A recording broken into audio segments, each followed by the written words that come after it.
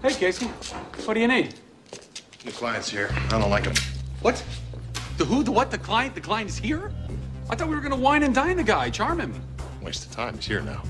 Casey, this is supposed to be a secret base. I took precautions. Oh, good. Casey, what precautions?